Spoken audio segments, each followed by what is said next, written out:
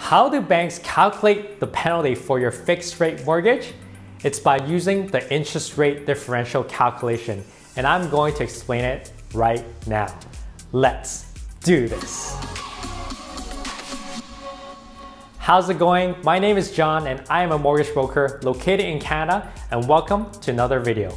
If this is first time here and you want to learn ways to be approved for mortgage, home buying tips, and other mortgage related stuff, start now by subscribing and clicking on the notification bell so you won't miss anything. When it comes to calculating the penalty for a fixed rate mortgage, it's a complicated formula, but I hope that by the end of the video, you'll have a better understanding of how it's calculated and how banks use it to artificially inflate the penalty. Have you ever wondered why banks disclose a posted rate? It's often much higher. If you go to RBC's website and check out posted rates, the five-year close rate is currently 4.79%. So what they're trying to say is the rate that they're offering is 4.79. But of course, that's not what you're going to get because there's lots of competition in the market. What you'll get is, for the purpose of this example, is say 2.79.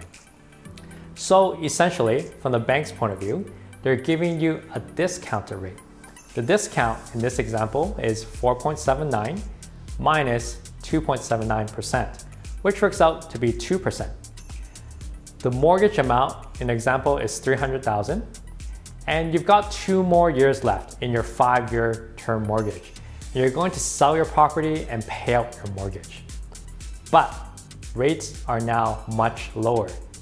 Since you've got two years left, the bank will look at what the two-year rate is and say it's 1.79, which means there's a difference of 1%. So let's work out the math together. So 300,000 is our mortgage amount. We got that 2% discount plus an additional 1% because of the two-year posted rate.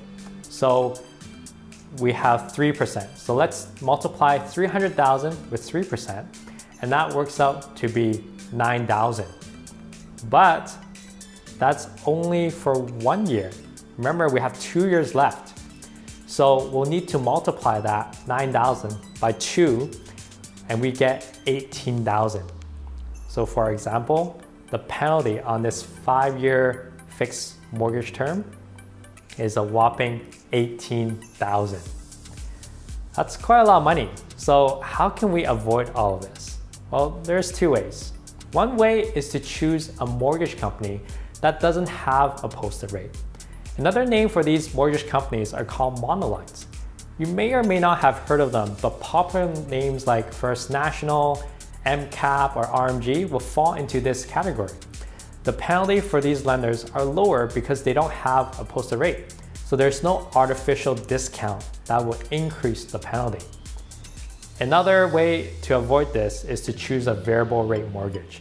Variable rate mortgages don't use the interest rate differential formula to calculate the penalty. It's simply a three months interest penalty and works out to be many, many times lower than fixed rate mortgages. For example, say the variable rate you currently have is 2.79%. The, the three months penalty will only be around 2100 that, That's a lot better than paying 18,000. And there you go. We just explained how interest rate differential works when calculating a fixed rate mortgage.